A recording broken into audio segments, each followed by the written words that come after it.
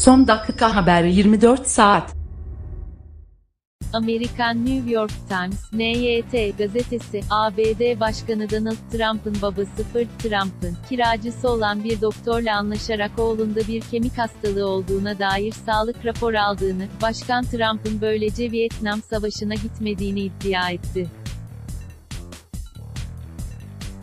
NYT'nin New York'ta Fred Trump'ın kiracısı da olan ayak hastalıkları uzmanı Larry Brownstein'in iki kızı Eliza Brownstein ve Sharon Kessel'e dayanarak hazırladığı haberine göre, Brownstein'in ABD Başkanı Trump'ın babası Fred'e iyilik yapmak için o dönem 22 yaşında olan Trump'ın ayak kemik çıkıntıları olduğuna dair bir rapor yazdı.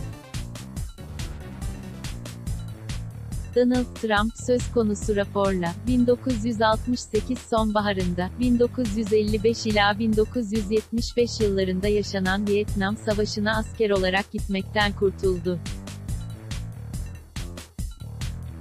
Bunun bir iyilik olarak yapıldığını biliyorum. Babasının o dönemde Queens bölgesinde, baba Trump'ın sahibi olduğu binada bir ofis olduğunu ve 2007'de öldüğünü belirten Eliza Brownstein, söz konusu raporla ilgili, bunun bir iyilik olarak yapıldığını biliyorum. Babamın bu işten kazancı Fırt Trump'a ulaşabilmesiydi. Ofisin bulunduğu bina ile ilgili bir sorun olursa babam Fırt Trump'ı arar ve iş anında çözülürdü, ifadelerini kullandı. Ayrıca Brownstein kardeşler söz konusu rapora, babalarının meslektaşı, aynı zamanda da aile dostları olan ve 1995'te vefat eden Manny Weinstein'ın da katkı yapmış olabileceğini söyledi.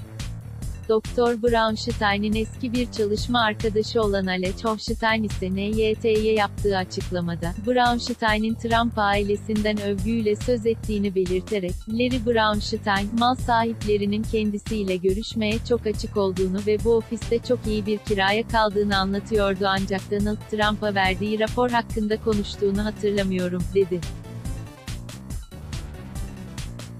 Brownstein kardeşler, babalarının aileye sağlıkla ilgili belgelerini bırakmadığını, onun işini devralan doktorun ise bu belgeden bahsetmediğini ifade etti.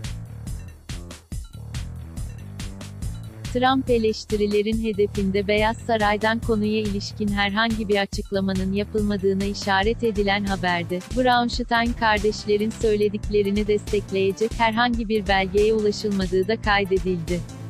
ABD Başkanı Trump, aldığı bu raporla Vietnam Savaşı'na gitmediği için sık sık eleştirilerin hedefi oluyor.